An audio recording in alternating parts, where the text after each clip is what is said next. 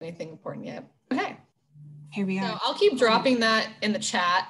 But um, as you all know, because you signed up for it, today we're talking about online tools discovered this year. And I said this in the email and in the description, but just to be clear, or tools that you're using really heavily, right? That has helped you convert stuff to virtual, engage people virtually, work from home um, for a little, you know, for the time and all the things. So it's really open. Um, so just a couple of like uh, kind of getting started things. And as people come in late, I'll like re-explain it. This is a very casual session um, amongst friends is that um, we're going to be talking about this stuff. And I dropped this link in the chat and I'll drop it again, but it's an editable link. And I set it up where it's like a template where you can just duplicate a slide or take one. I put some like blank ones in there with what we're really kind of going to be talking about today and for y'all to insert tools. So I put in like three or four tools to start with as people might be adding it.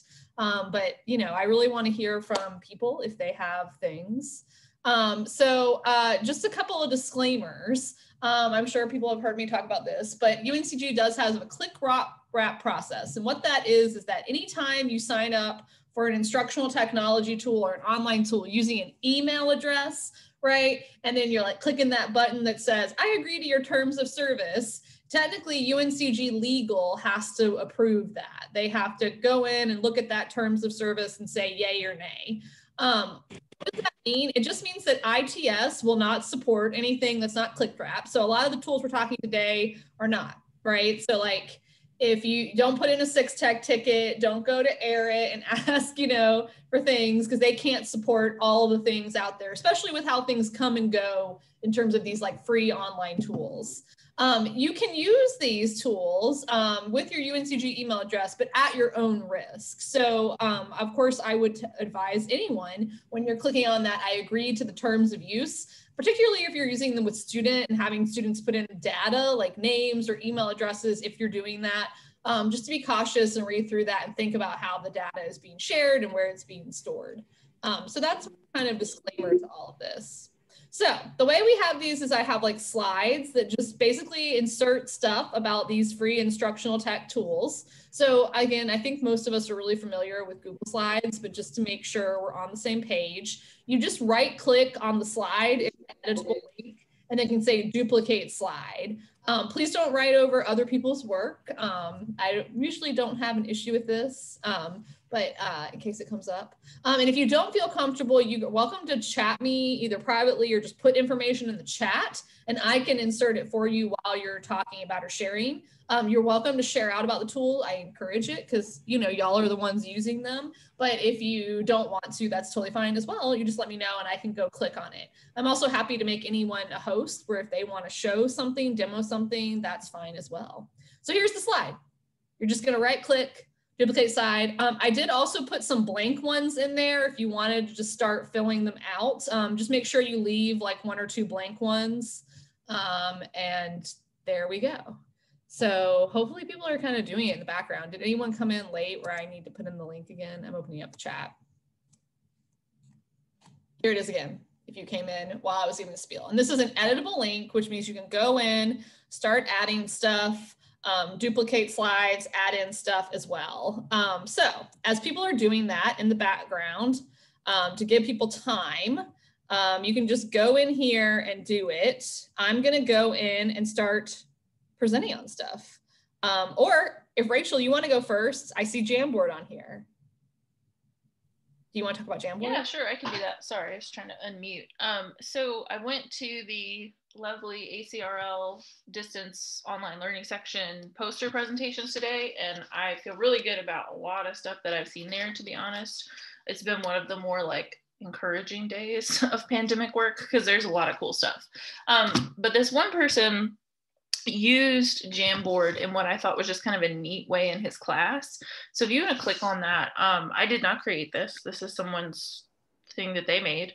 Um, and so this was like, as students were coming in uh, to the room, and I think you could do this virtually or in person, he was saying, this is like his setup. There's him, his Bitmoji, his contact, just like something for them to do while they're getting started. You add a sticky note and share the topic that you think you might be researching. So if you go to the next one, um, he then like used it um, he took those different topics as people were putting them in, or he said you could solicit them from the instructor ahead of time. And then together they came up with um, these different keywords or search strategies. And the article citations one, they didn't necessarily explain it, but I think that you could potentially come back to this and say, okay, you know, we're going to work in teams like this breakout room. You're going to work on this page of the Jamboard and like find some articles related to this using these search terms. Um, and if you keep going, I feel like a little bit more. Try the try the next one. Sorry, I should have written down the number. I feel like he does something else toward the end, and I could be really wrong about that. Okay, I guess not. Um, but I felt like I could be mixing it up with some other Jamboard presentations that I've seen, but like just it's just kind of a cool collaborative thing. Um, I'm really annoyed with myself that I I saw another one. If I find it while we're talking, I'll drop it in.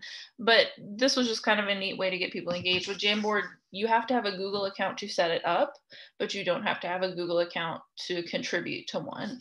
Um, and you can do, I think it's set up to 50 people um, at a time on a single Jamboard and up to 25 slides, which is more than I think I would ever need. I think this could be a really cool substitute for the HyperDocs thing that I used to be way into um, because it is just like everything in one place. There's no like clicking around to different documents. So I'm sure, you know, I don't know. I just think of Jamboard as like an improvement on Padlet, basically. And you can download them. So that was it, really. I just thought that was really cool looking here where we could, um, and I'll drop a link in the chat, um, where you could make a copy of this and use it in your own instruction and put in your own stuff. Um, I'm gonna look and see if I can find that other thing I was talking about. Giving this person credit would probably be the polite thing to do. Um, yeah. Jason Wardell, Wardell. Um, but yeah, this is really cool. Thank you. So let me look. Um, I've used Jamboard a little bit. Um, but nothing like that fancy. And I really like it because I think we could use it um, asynchronously too. Um, yeah. I could use it asynchronously with my ACRL presentation um, just to break things up and was like, what's your takeaway from this session? Um, but one of the things that was hard about asynchronous is that I had two Jamboard slides um, and I sort of verbally said that during my presentation, but when people are just on there by themselves, I don't think they always realize there are there's that click forward thing. So if you're using it during like instruction, it's a lot easier because you can just be like, all right, click through to the one you want.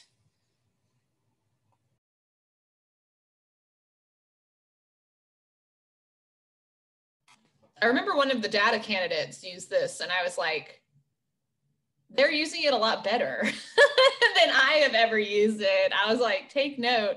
Cause like Mentimeter, which I use a lot, has like that two slide limit. You know what I mean? So like I've never used it to do like a keyword creation. And I like this a lot better than um, I've used uh, Answer Garden in the past because I like that it's embeddable in a LibGuide.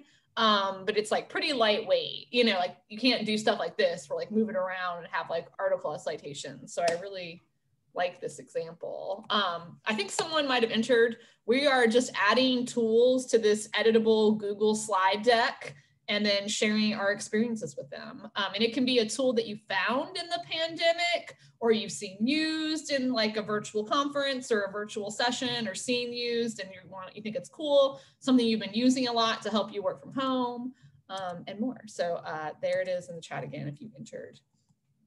Okay, um, well, I'll do one. So Erin Lawrimore showed this to me to give her um, credit, and I think she saw it used in a um, SAA, uh, Society of American Archivists, right? Uh, virtual like breakout room deal, but it's this tool called Wonder, and I think I shared it with like ROI. Um, but what it is, it's a virtual space built around topical hubs, and then you can like hop from hub to hub to hub um, while you're in it. So it's kind of um, cool. If you want to learn, see it like in action, like with a lot of people moving around in this virtual hub area, you can do it. But basically, it's a virtual space, but you drag your icon around, right? And then like you could have a room that maybe says like um, public libraries, right? And then you could drag yourself into them, be like, I'm interested in public libraries. And then you would see everyone who's in the public library room, and then you'd be hooked into a virtual meeting room with those people. Um, you can then lock the room or not, leave it open for people to join you. Again, it's a it's a way to kind of replicate a big room um, in uh, in the virtual world. Um, so I haven't used it for like an actual application, but I feel like this tool came about in the pandemic based on that conferences moved online, right? Professional development all moved online and tried to replicate this idea of moving around. So I was wondering if anyone has used it or had um, experience with something like this. Um, I don't think you even have to sign in. So maybe I can just show you the room. Yeah, so Steve said it uh, would be try to uh, would be fun to try this with a UL group. I agree. It could be like a social event room. You know, you could have like categories. So like uh, jam session is is a is a, the name. We'll call it UL ULVLC. Um,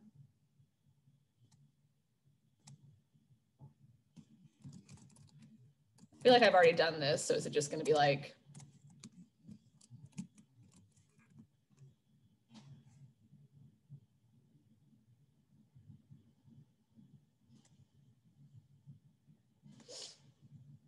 So here it is. It's gonna give me a tour. Can y'all see, y'all can see this, right? I don't think it should, should make a difference that I'm in Zoom.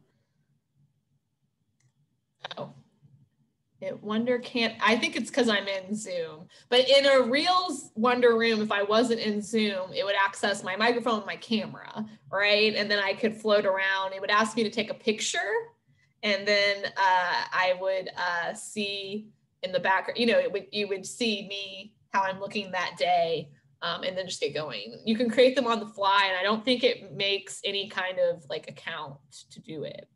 So have any of y'all seen anything cool like that done in any of these virtual professional development conferences? I've really only seen people use Zoom and use the breakout rooms. Um, yeah.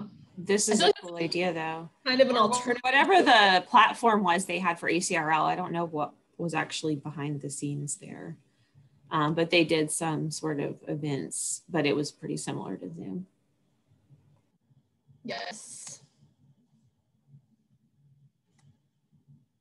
You're using Whova for NCLA. Yeah, so that distance library conference I went to in November, I think, November 2020, um, used Whova. And we had, it was great.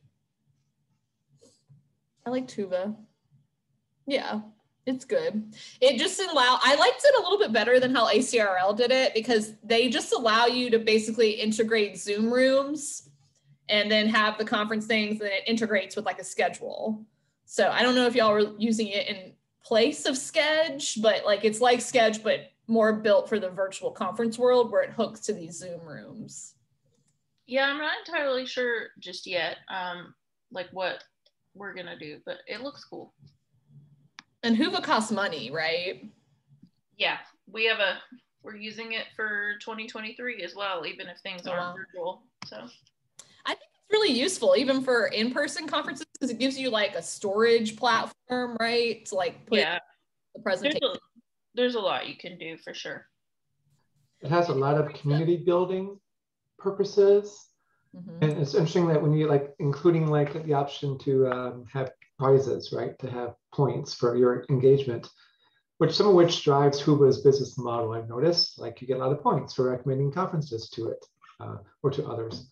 But yeah, it's a nice. It's I don't I don't think Rachel. There's a virtual reality gathering component to it. It's not that kind of software, but it does enable a lot of conversations, including for people that don't necessarily want to speak up in a big group in Zoom. So it's a nice um, Yeah, Kathy. for- Sorry, just uh, welcoming and like I was talking to a librarian who's who outed herself as being very shy. She would like she likes that interface because it lets her communicate without having to herself out into a big group like you often do at an online conference. and I've like ranted about this, I think to Jenny and probably to other people in this, but like I hope that even as we shift into like, you know, more people getting vaccinated and being able to do physical things, physical, you know, like in-person things again. I hope that like the online stuff doesn't completely go away because I think there's a lot of like accessibility components that um, come with online professional development. Um, like when you think about like if you're a caregiver or you know like i have friends who are single parents or caregivers and like they can't ever go to conferences because they can't get um, you know help in that uh, arena so i hope that at least it continues to be somewhat hybrid and that like some professional development things i totally get why people want to be uh, together in person um yeah and so you can't afford to travel like there's just tons of things with with with in-person conferences that are like not very accessible, not very EDI friendly. Um, and again, like I miss seeing people in person too, like for that stuff, but I hope that it like stays hybrid somewhat. Um, so this is a picture of how Wonder looks since I couldn't really demo it because we're in Zoom, but like you can see here like the little bubbles of people hanging out, floating, you float your, your bubble to different things. So that's Wonder.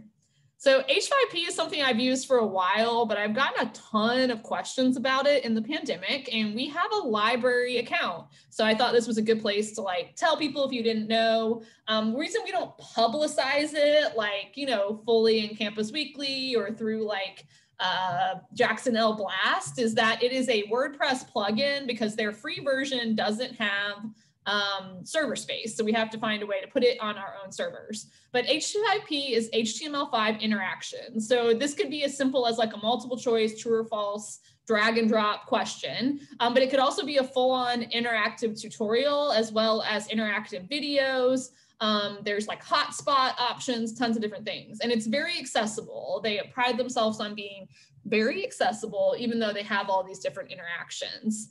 Um, so if you're interested in it, um, this is a free, the free one. Um, we and the WordPress plugin we use is free, but we have it set up on like a backend account where I can insert them for you. So all you would have to do is like we could meet or you could talk about it and I can guide you through some things. Um, but you can go here to h5p.org and play around with it on your own um, and see what you can do. Um, so they have examples and downloads here.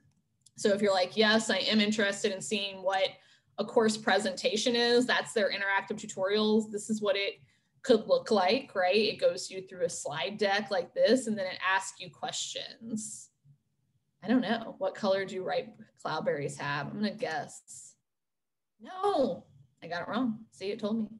What country has a special section of cloudberry diplomacy in their foreign affairs? I don't know.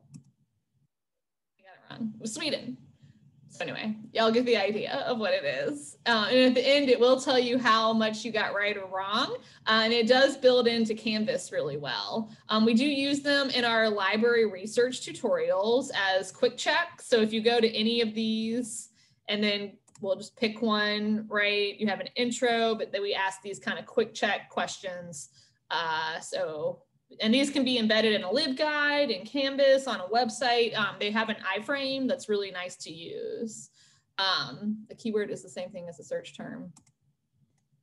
I got that one right. So there you go. So that's uh, H5P as something that I've been using a lot in the pandemic. Again, I was using it pre-pandemic. It's just I think um, a lot of libraries were kind of forced to reevaluate their tutorial platforms um, in the pandemic and uh, H5P has come up a lot. And since uh, we use it in our platform um, and we use it, um, the WordPress plugin, which is a nice way to use it for free, um, I was getting a lot of emails about it. Questions, concerns? People love H5P in our tutorials. Get a lot They do. feedback on it. Yeah, anytime I go to a conference, I get asked a lot of questions. It's cool. I'm glad people are finding it, discovering it. And I just want to know everyone can use it. Um, so Lois asks, is it difficult to get the hang of using? No, it's very easy to use. Um, the back end uh, is like just, it guides, it's like, what do you want to name this interaction, right? If you're creating like a multiple choice question or whatever. Um, it's really easy. So if you were interested in trying it, um, if you go to h5p.org, which is linked in that slideshow, you can create an account. Um, you can actually create a, it's totally appropriate to create one with your UNCG account because this is an open source tool, right? Um, they do have a for-profit model that's not open source, but it costs a lot of money and we are not gonna buy it. Um, so you just can create a login and then uh, create, start, start saying create. So it will flash messages at you like, this is just a trial, this is just a trial. But if you create it and then send me the package, um, I can upload it onto our WordPress plugin. Um, and or sometimes what people do is they'll send me like a Google Doc of what they want it to look like, and I'll just put it into the WordPress plugin and then send you a link to it or the embed code. It's really easy to use. Even people like me can. So someone, uh, Rachel asked if you can put H5P into a Google slide.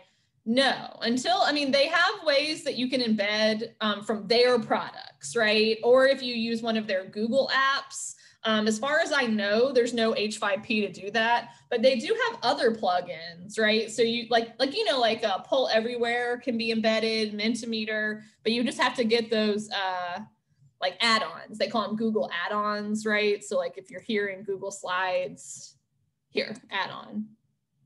So it just depends. So you could look here and see which ones have come up. As like I said, I don't think H5P has one, but look right now. I was thinking about asynchronous, like um, if you were to have people look at a slideshow on their own and then wanted to yeah. add something like that. But you could always do it on a LibGuide. And yeah, you could, they do embed really well on a LibGuide as a widget. Yeah, but you don't get any of the analytics. But remember, we also have LibWizard, um, which does give you analytics, right? And it does allow you to create interactive tutorials. And I can talk about that. Um, I didn't put it on here, but we can talk about it. So Rachel and I were talking today about what she mentioned that ACRL DOLS um, poster session that's going on that is having a lot of good stuff. It's on distance and online learning, but they are doing stuff on teaching and learning, um, management, project management, all kinds of things. I've been sending people links to things like, oh, I thought of you with this. So maybe you'll get an email from me as I like am working through this, all the posters. But a lot of them were using this thing called Genially, Gina Lee, I think that's how you say it, which is just basically a new form of presentation creation. They call them panels, but they're really presentations. So, um, and they give you all these templates. So, um, here is the options. You can do a presentation, learning experience, interactive image. Um, so I have, um, I just created an account today, but if I click on presentation, it's gonna give me all this stuff. And this is what it could look like. So this is what it looks like. This is an example of a presentation. But it embeds really well. It, they embedded it on these web pages and it has all these different ways you can interact with people because they call them interactive presentations. Um, see, so like hotspots. Ooh. And I have not checked the accessibility of this, but it looks pretty. Ooh. I assume, I just like assume at this point that everyone is thinking about accessibility. So hopefully they're okay. But this is it. So you can create a free account and start playing around. I created mine this morning, but I haven't created anything yet. But yeah.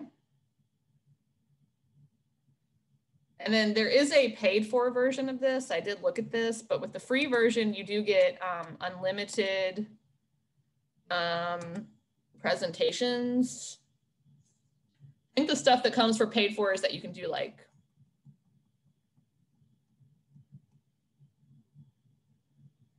So as a student, you can get unlimited creations and unlimited view. So with the unlimited free one, you can't do, you can't download it as a PDF, which is, I guess, important to keep in mind. But I think you can create a link because it says unlimited views. Can't view it offline. So something to keep in mind, but I'm always, like I feel like, you know, always looking for new templates, always looking for new ways to do presentations. So this is another thing I saw at ACRL, do, uh, that ACRL DOLS thing, where it's another screen recorder through a Chrome extension. I haven't played it yet, but it seems like a nice lightweight thing. Um, sorry, I have like gnats. Um, but um, I'm not going to play this video, but it uh, is a Chrome extension, right? That you can just quickly make recordings, and it goes into your Zoom, uh, your Google Drive as an MP4. Um, I use something called Screencastify sometimes for this, but I thought this might be a um, different one. I'd have to start researching to see if it has more stuff or less stuff. Or, but I'm always looking for like lightweight recording tools. Okay. So, Lois, do you want to talk about Wakelet? I said, I and I'm so sorry. I thought I was copying pasting on my desktop and I didn't. So no. Um, this is a tool that we used in um, my library technology class this mm-hmm. semester. Um, and I we had to make these little curations. Basically, we had to pick a topic and then find a bunch of resources about it and put it out there for people to find. And I thought this was a really convenient way to do it. Um, the second one is the one that I did for my class. Um, and it's basically just a simple, like, I don't know, like you could use it the same way that you might use to build a website. Um, you could use it for a blog here. I put a bunch of mm. resources together about mindfulness. Um, but there are also several different layouts. So there's one that looks more like um, almost like Pinterest, where it's like a bunch of squares that you could click on. Um, there's one that's more of like a gallery view or something like that. So um, there's lots of different options. And what I really liked about it was how easy it was to use. Mm-hmm. Um, yeah. So um, yeah, it was it was super quick and easy and it was just really simple. So if you ever I thought it might be a good alternative, like if you didn't want to go into Google Sites and build a whole site for something, you could just pop stuff in there and turn it out quickly. Um, it doesn't have the full, obviously, like editability of like a like Wix or something like that. Um, but it's just quick, easy. It would be great if you needed students to do a project and put stuff together. Um, yeah, it, it's basically open to whatever you want to use it for. Love it. Um, I'm thinking, I'm like selfishly thinking about like maybe I could use this to do like as like almost like a reading journal where I could be like putting stuff if I found it. Um, or yeah, like liaison areas. I'm thinking of this as like a reflection space because I really like how you can embed like music, articles, or link to, you know, videos, like all the different multimedia stuff. I love it. Podcast, yes. Does anyone else use Wakelet?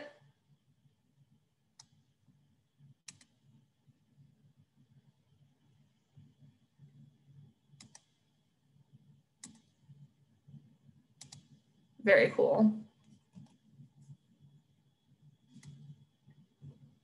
Okay. Does anyone else have anything to share?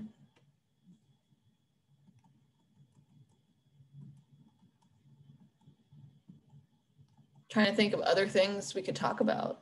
Do people add stuff at the front? No.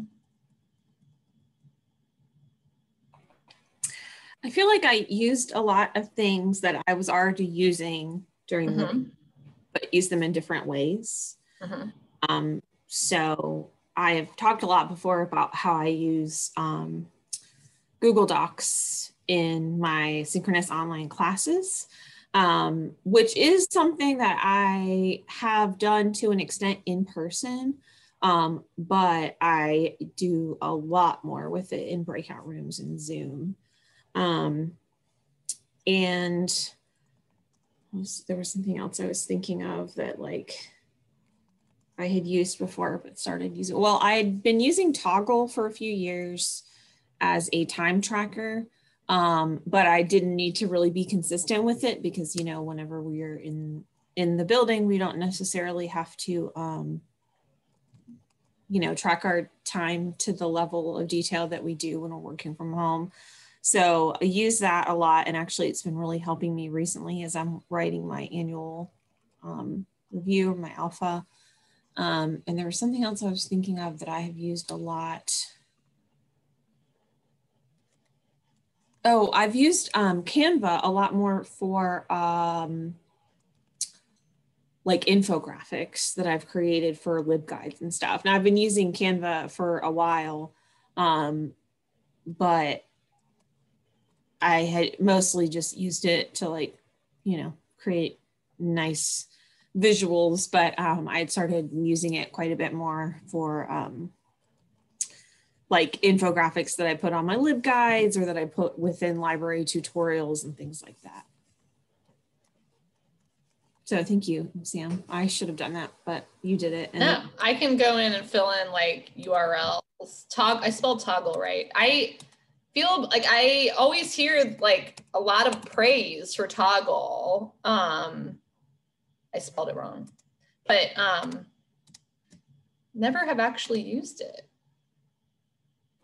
They also actually expanded during the pandemic. Um, they used to just be a time tracker, but now they have a Toggl Plan, which is more like a um, project management tool. And there's something else. There's a third one that they have now, but Toggl Track is like the tradish um, one that is just for tracking. And it, again, has really helped me as I have been trying to, uh, you know, wrangle some consults that I didn't remember. So.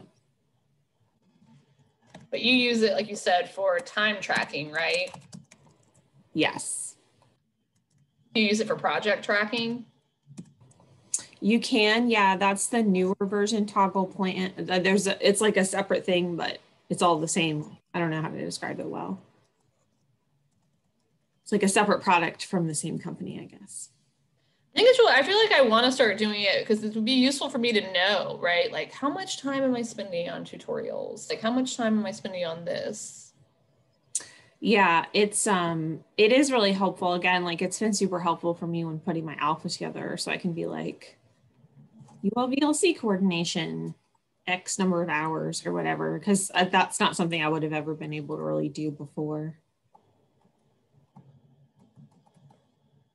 I'm having trouble finding Canva's.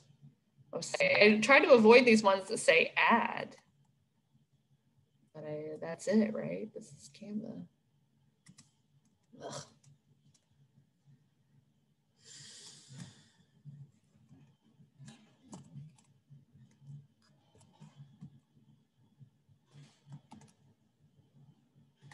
Anything else? I'm I'm curious about what Lois just said in the chat about Canva. Um, if we could we do you have an example maybe Lois that we could see? If not, it's no big deal. I'm just curious. I can try to well, basically all it is is just um, so like if I say something like remember to do blah blah blah in a screencast, I'll just go on Canva and make a little image that says you know, like do blah, blah, blah. And then I'll download it as a picture and I'll insert it into the screencast so it pops up. Um, instead of, you know, how some screencast tools will have ways that you can just type right on the video. Um, I like doing it that way because you can make it look cuter and more consistent than trying to just use the little in video editing thing. Um, so I think that that that's been fun. I've had a lot of fun with that. That's genius. I love it. If you have an example video um, that you can think of after, I'd love to see it. That does sound cool. I know that like there is a like profession there is like we have access to a professional account um but which I think has a lot better like whatnot. So um, I don't know if y'all have. I think Holly has access to it, if anyone knows that. Yeah, Holly has it. There's a UNCG team um, that you can use. It's premium. Premium. So yeah, I think that they have like better icons, right? That's what I've heard. Yeah, all the like the anything you see when you're browsing through and there's like a little crown next to it, which is a lot of stuff these days is available. Nice. I should probably do that. Cool. Trying to think of other stuff I use a lot. I have a comment, Sam, that's yeah. many ways very similar to what Jenny said, not necessarily looking for new things, but using old things in different ways yeah. or better ways. And efficiency, you know, is, is something I've always tried to pursue. And we all do, I know, in different ways. But for example, um, I've been very attached to Camtasia to do screencasting. And I like bells and whistles, and, and Lois alluded to this, like adding captions and um, transitions, and you know all the all the cool special tricks you do to post process the video. On the other hand, that's sitting on my hard drive at work, and I don't have access to it. Have none extra, except for VR a few times ago on work.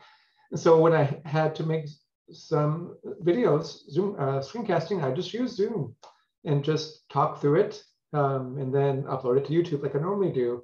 And doesn't have bells and whistles. On the other hand, I can whip those out fairly quickly, efficiency, and it's and they look fine.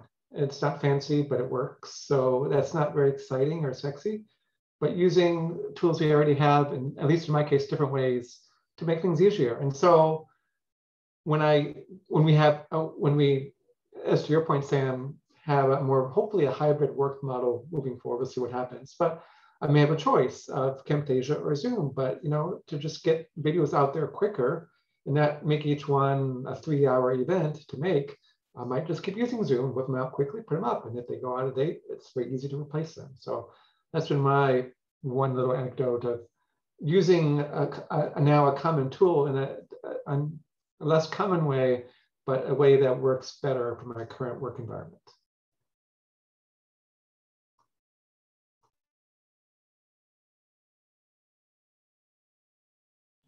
Yeah, I think this is a good space to talk about that. Like, I think it's similar to how I mentioned, like, I hope that virtual conferences and professional development opportunities don't completely go away because of how more accessible they are. I hope that us being flexible and saying, like, just keep it simple and like show people how it's done and you know that kind of thing stays um, i think you know i don't i can't like cite you articles right now but I, i've done research in the past on this and i think students or patrons just really mostly just want to see how it's done and they like to see personality shine through you know in whatever way it is. So like just having you know you be like here's how to get like i used a, I created a simple like screen cast when um, links in PubMed weren't going back to UNCG. So of course, like Leah and Megan and I were getting like tons of emails being like, what's going on? So I made a quick like, here's what's going on video, like, you know, that kind of thing. And here's how you can, you know, get around it until we resolve it.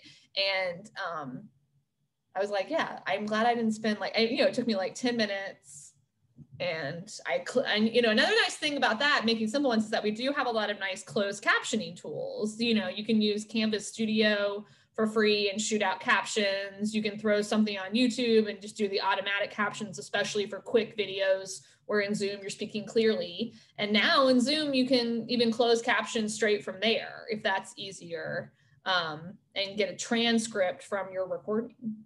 So tools are catching up with how often we're using them, which is nice. Like Zoom has gotten a lot better in the year that we have been using it all the time. Here we are in Zoom right now.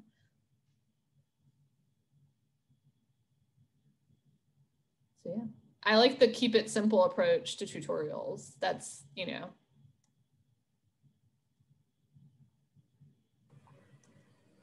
So, Sam, one of the other things that you had said in your description of this is mm-hmm. are people going to stop using? Yes. What are people tired sort of? About, yeah. So I'm I'm curious.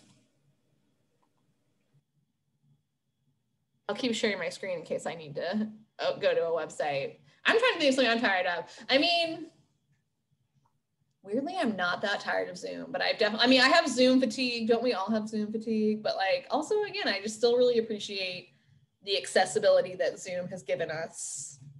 Thank you, Zoom, over the last year. And I hope I was telling James today, I was like, I'm gonna be mad if I have to trek across campus to a like committee meeting, you know, that could have just been on Zoom, uh, even if I'm, you know, if when I'm in my office. So um, I don't think that's going away. Though again, I've heard the word Zoom fatigue a lot lately, which is real. It's real. I've been taking my dog on a lot of walks. I think it was something I've tried and been like, ugh, I'm not using this ever again. Oh, I have one. Um, I tried using Slido um, for because Slido or Sligo? Slido, S L I D O, the polling thing. Yes, there it is. Um, I tried that because y'all know I like my polls. Um, I tried that because I was doing an ACRL um, like webinar, and mm-hmm. there were a ton of people signed up. Not as many people showed up as signed up, but there were a lot of people there. And I know that Slido is supposed to be good for larger audiences, is sort of how I had heard it described. Um, but it is just not intuitive to me um, and I felt like nervous using it, which I usually don't with, you know, like Mentimeter, Socrative, even Answer Garden, which I use sometimes. Um, I think it's it really only like puts can you can do one question at a time. It's easier than Zoom polls. I hate Zoom polls. Hate Zoom polls. I find them extremely hard to just like understand what you're supposed to do. Yeah, I do not like Zoom polls. But I know, I mean, like Amy used this Slido tool um, and really liked it. But yeah, thank you, Steve, because I went back into it recently thinking I would use it at a, in a conference presentation and I went in there and I was like, how does this even work? So uh, don't, I, that's when I will be trashing, I think. Jenny, I've used it largely in classes and I go in and I copy my existing Slidos because it's very similar in terms of like what I want students to input. Uh, so that part is fairly easy, but then yeah, how to just, you know, have the link shared properly, making sure I turn it on properly when it's live and then move to the next slide. I always have to like spend five minutes testing it, you know, with a web browser in which I'm not logged in to make it work. So that could be my fault, but that is a bit quirky. I agree.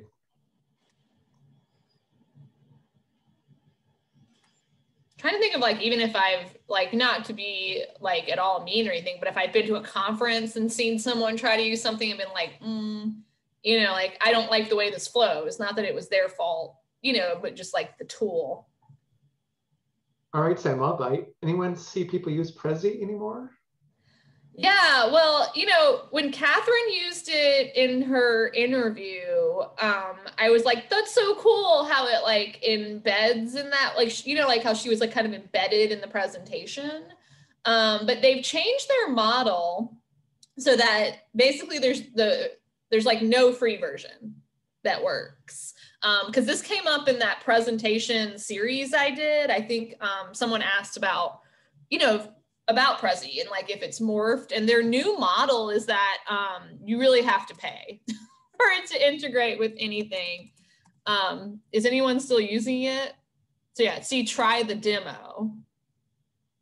Well, that might mean there are a lot less crappy Prezis out there. People have to pay for it and have to do. So yeah, see, there's no. Sorry, that was very snobby, but. Yeah. No, but like you can get the five dollar one, but I think the one that really makes it at all worth it is the fifteen dollar one, um, where you can do a free trial. But like, I guess my thing to be like, look, kind of questioning their business model, which you you would know much more about than me, Steve, is that like there's so many free presentation tools out there. Like, why would I pay? Like, you'd have to really convince me to spend $15 a month or to convince UNCG to buy an institutional license. Like, I don't think they have enough stuff that's better than PowerPoint or Google Slides, you know, that we get for free as a UNCG employee, or anyone can get Google Slides for free um, with a with a Gmail account. So I don't know. I don't know what they're doing. So Marilyn had a chat message about it too. So yeah, Marilyn says since Prezi is restricted, I quit using it. They do have some free trainings which give you good ideas on a good presentation. Yeah, I think I still link, they have a blog post on like graphic design basics that I still use. I mean, I think they do some good stuff about, you know, graphic design, like best tips of a presentation. But yeah, I mean, I just am like, I don't know. I wonder how many people are paying this $15 a month um, deal. Though they do have a business version where like, so UNCG could buy um, an institutional, like, well, that's not right, but somewhere they have an institutional license, I'm sure. That's how most of these tech companies, I think, make their money are institution, like UNCG buying into Prezi, not like one person buying into Prezi. Um, and a lot of them actually run in the black and try to get bought out. And that's, you know, their exit strategy. So you get a lot of that too. That may not be sustainable. Yeah. You don't need to be because you can be a bad company and still get sold out and make a lot of money for the stockholders. And then they're done. And then they go on to make something else new. Yeah. I bet that's a good point. I think that's probably what will happen. I don't think Zoom's going away. I don't think um, even WebEx, like some companies are still buying into that. Can't be a monopoly, right? Um, so Jenny pointed out that um, YouTube channel, which is cool if you're into productivity, calendaring, note taking software. Yes. So good job. I'll have to watch that later. Yeah, the channel is called Keep Productive. And like, again, I've said this before in other sessions related to productivity, not in any way suggesting that people need to be more productive, but like, I'm just interested in those kind of tools. And one of the things I really like on that channel is that a lot of, um, in a lot of the videos, they are showing like they're just showing you how they use a tool. Um, and i find that a lot more useful than like you know if, if i were to go into prezi and watch a video about how they um, about how it works it would just be you know whatever they're saying and showing you. But like when i can see like an actual person and how they've set up their workflow in a tool i find that like super um i don't know i find that like really interesting in in a nerdy way yeah, I and this is nothing to do with like what Jenny said. Like, I don't think people need to be more productive or anything right now. But and this is just me personally. Like, you know, I'm not expecting people to be like, yes, me when I say this, but I feel like I've kind of hit a productivity wall. Like I was doing really good at like note taking, um, panda planners, calendars, um, all these different things. And right now like all of it's been put in my desk. I don't know what's going on with my brain. Um i it's probably a conversation i should have with like my therapist and not with y'all but i don't know i don't know if anyone else is gonna hit that. And it might be because it's like the end of the semester my instructions done um you know in terms of like my liaison areas so i'm kind of now starting to think through like what are my big summer projects with online learning um kind of deal. Um so yeah, maybe I'll, I was thinking today I'm going to sit down and make like a good to-do list and like think through my next steps and think through the timeline. But yeah, a little burnt out of that. But again, that's just me. Jenny's always so amazing um, at planning that uh, yeah, I go to her for questions too. And Rachel is very organized, um, especially with all things Google, but also you're just very organized in general. Um, thanks, Lois, for coming. So it's 350, but um, I think we've, you know, I'm trying to, I'm just like, I should have come in, I guess, prepared to be like, what is something that I'm absolutely never going to use again? But we'll see. I'll think about it. Hmm. I don't ever use PowerPoint. I will say that. Um, One thing I've witnessed is often people try to show slides via Zoom using PowerPoint, something goes wrong. Um, either, and particularly have two screens going on. So I, yeah. I, I, don't use PowerPoint much either. Sometimes I do, more so in my credit class than like one-shot instruction. But I save my slides as PDFs and I share my screen using PDFs because that's just such a safe way to do it and may not, you know, doesn't support animation, but I don't use animation anyway. Um, so it, it's interesting when people are getting ready to show PowerPoint slides. And I always wonder, what are the chances are that something's going to go wrong and they're not going to be able to see something, or they're going to be stuck in the edit mode. And it, usually it's a pretty high percentage. So And that I think that's also like strategy. I think that's also part of my bias of Prezi because when I was in graduate school, which was a while ago now, um, Prezi was new and students kept trying to use it um, to, for like course presentations and it like never worked. It was always like a five or 10 minute ordeal of like not being able to get the link up. They panic. They're like, oh no, you know, and so I guess like in my mind, I've always had this kind of bias against Prezi because I'm like, oh, is it unreliable? like librarians can never get it to work. And then I remember there was a period where I was like, oh, it's gotten a lot better. But um, and then they, they just kept changing their their pricing plan. So um yeah, Prezi. Um, well, this slideshow will go out to you all for coming and it can be linked on the UL VLC uh, LibGuide. Um, Jenny, is there another one coming up? Um, I can pull up the guide.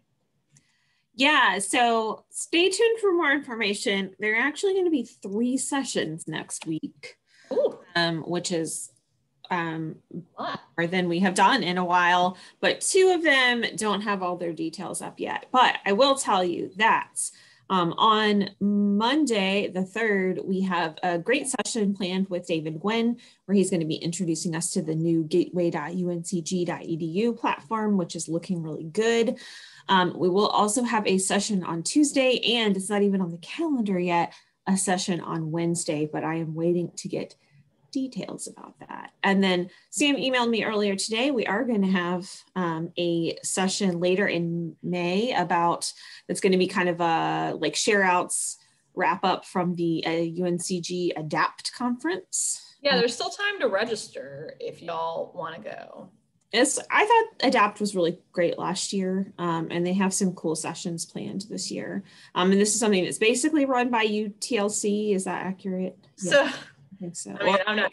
It's yours, by yeah. a representative from the UTLC, the libraries, me, um, ITS, uh, an academic ITC, and UNCG Online. But it was born from the UTLC, and I still think they're the main uh, contact for it. Um, but there is this year a research track, but like for y'all. you're probably going to be more interested in the other stuff because the research track is really just about, um, you know, stuff that we all do in our jobs. So, um, but uh, the other stuff that, you know, of course, anyone can go to are going to be on Joy of Teaching, Beginning Technology, Advanced Technology, and EDI. There's some, and there's some really good ones in all tracks. Um, I did not make this website, but let me um, no, don't add it to my calendar. Where is it? I clicked on schedule.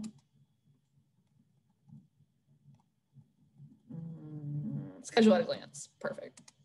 Um, but anyway, and you can sign up, register for the conference, and go to what you want to because they'll all be recorded and you'll be put in a Canvas org. And then there's posters in the Canvas org, um, discussions. Um, so, like, you can see here the tracks, but they'll have stuff on Canvas, Google, um, EDI stuff, people, things that people have tried and done in the pandemic that they've liked, and so on and so on. You can see Catherine's gonna do one. Sometimes my name's on a lot of these, but really I'm just there to be like, here's Catherine. Um, so don't think I'm actually doing this much presentation. Um, Rachel, if, she, if she's still here, there's one on um, from Paul Silvia and Heather Coleman on um, writing from home good for her for the writing group and yeah citation management anna's going to do some stuff on scholcom anyway um, well thank you all for coming Thank you, Sam. Thank you all for attending, and uh, we'll see you uh, in the next ULVLC, we hope. Bye. Bye.